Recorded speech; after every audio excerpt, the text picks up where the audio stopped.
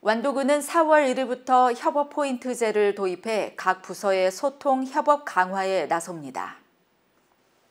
협업 포인트제는 조직 내 눈에 보이지 않는 칸막이를 없애고 직원과 부서 간 소통과 협업을 통해 자유롭고 창의적인 조직 문화를 확산시킴으로써 업무의 효율성과 생산성을 높이기 위해 도입됐습니다.